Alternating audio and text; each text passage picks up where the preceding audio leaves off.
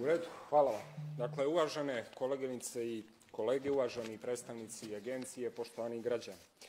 Prije nego što pređem na suštinu moje diskusije, bit će mi jako teško jeli, da, se, da se ne ponovi nakon izlaganja mojih kolega, moram konstatovati par stvari. Dakle, ova skupštinska većina je i tekako heterogona. I programski, ideološki, i u mnogim stvarima se ne slažemo, ali kada je u pitanju stanje po pitanju borbe protiv korupcije, imamo nepodijeljen stav i saglasni smo u tom mišljenju. Druga stvar, tokom diskusija mo, mojih prethodnika, konkretno kolege Konatara, nije mi prijalo kad sam vidio da se smijete na njegovu konstataciju da, koliko je on informisan, nije pokrenuto ništa po pitanju slučaja jednog visokog funkcionera koji je 20.000 eura gotovine je dao za stan po povlašćenim uslovima, a da, se, a da taj novac nije, nije prijavio. Pa kažem, nismo imali, izvinjavam se ako jeste.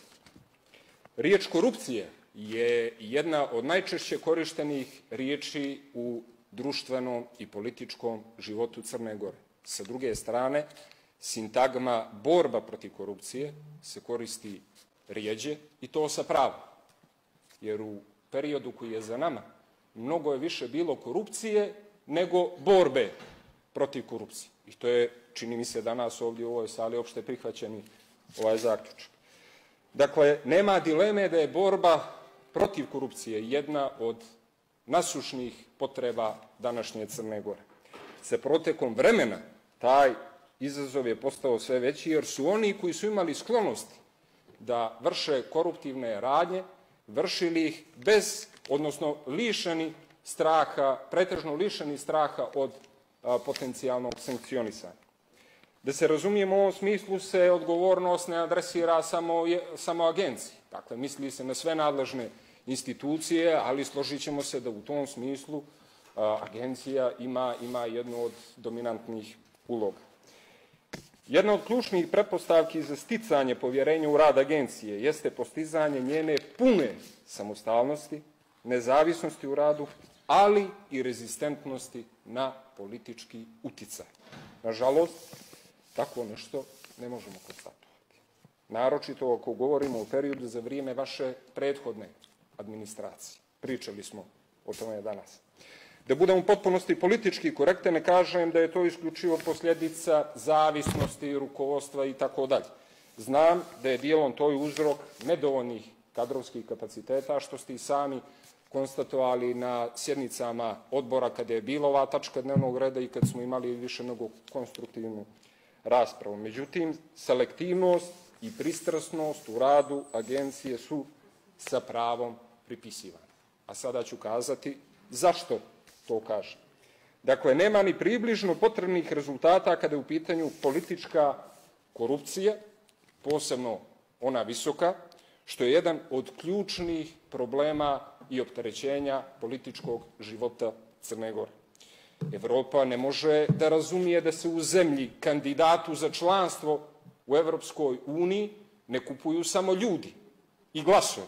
U Crnogori su se u prethodnom periodu kupovali odbornici, pa čak i poslanici u ovom parlamentu u kome se nalazimo danas. Dakle, ta praksa u koju niko ne sumnja potvrđuje da je Crna Gora bila među šampionima kada je u pitanju visoka politička korupcija. Dakle, visoke političke korupcije ima, ali borbe i rezultata ni u minimalnoj potrebi nema. Ukoliko bih krenuo sa imenima i konkretnim slučajevima, vjerujem da cijeli dan ne, bih, ne bismo završili sa raspravom, tako da ću u ovom trenutku samo na nivou pojava o konkretnim slučajevima su govorili moji, moji prethodnici.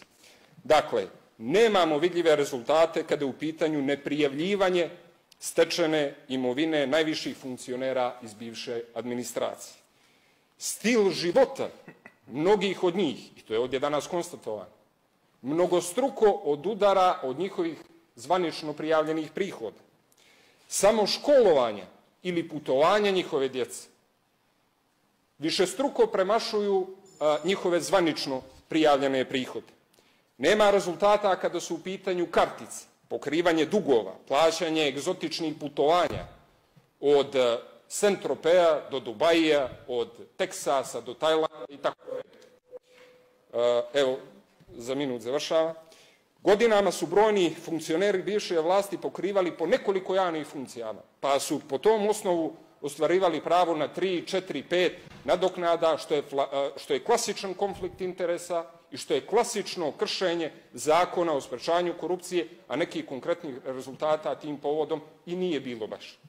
Dakle, posjetit ću na slučajeve nezakonitog finansiranja DPS-a koje je procesuirao kolega Koprivica, to sam jednom prilikom i kazao. Dakle, jedno lice nije moglo biti donator zato što je kao pravosnažno osuđivano lice doniralo Demokratsku partiju socijalista, a drugo lice nije moglo biti donator iz razloga koji se nalaze u zakonu o finansiranju političkih subjekata izbornih kampanja u dijelu koji se odnosi na javne nabavke. Dakle, kod ova dva slučajeva e, nezakonitog doniranja DPS-u nije bilo pokrenutih procesa, da mi znamo, kolegu Koprivicu niko, niko nije kontaktirao. Dakle, sve ovo u svojim izvještajima konstatovala i Evropska komisija, koja kaže da crnogorske institucije nijesu dovoljno nezavisne. Nepristrasnost agencije dovodi u pitanje i sam Greko, naročito po pitanju njihovih a, a, preporuka koje se nijesu već, a, u potpunosti već djelimično ispunjavala, konstatovano i da sankcije nisu odgovarajuće i da nijesu dovoljno proporcionalne. Dakle, svi pred zakonom i institucijama moramo biti jednaki. Dakle, kada istim očima bude agencije gledala na svakog javnog funkcionera, dolazi on sa ove ili one strane. Kad svaki poslanik Skupštine Crne Gore bude samo jedan od 81, tada će Agencija za sprečavanje korupcije imati našu nepodijeljenu podršku. Zahvaljujem, izvinjavam se na kratkom priključenju. Ovim ste potrošili vrijeme kluba.